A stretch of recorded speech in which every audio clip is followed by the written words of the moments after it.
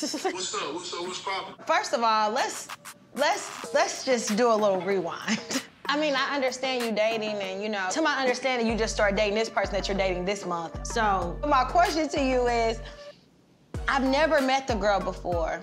Why does she feel comfortable to post a picture of my daughter on her social media page? She a businesswoman, you know what I mean? And she raced it right when you said something. Okay, Like, so- No disrespect. Lorenzo has a new girlfriend all of a sudden, and he has the nerve to let the girl post pictures of my daughter on social media. That is not okay with me. I've never met her in my life. I don't even know who the girl is. I don't even know how to. You don't even know how to spell her name properly. How would you feel if I was dating somebody, they posted a picture of Dash on their social media? I run my household a different way. You like you run your house, I run my house. Nobody gonna tell you what to do. Nobody can tell you what to do, but ain't nobody gonna do what they wanna do with my motherfucking child. As long as you got whoever you wanna be with, she don't have to come over there. You know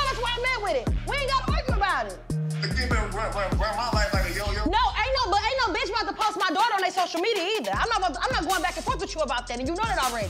So just stop it. I, I realize I can't control you dating who you, so. Lorenzo, the fact that you're almost 40 years old and you don't think that's inappropriate for somebody to post somebody else's child is a problem. Well, like I said, she erased, she took it down as soon as she asked. Lorenzo knows all of my trigger points that gets me really upset. Every time I think I have a little inkling that I'm gonna go back with him. Oh my God, he does some bull that just says, huh, I know why I left and I'm never coming back. Like, seriously. You are the best man. That's why I don't want to have no conversation with you. off and you. You him. I'm so tired of that. Hi, it's Jennifer Williams from Basketball Wives. Subscribe to VH1's YouTube channel so you don't miss anything this season.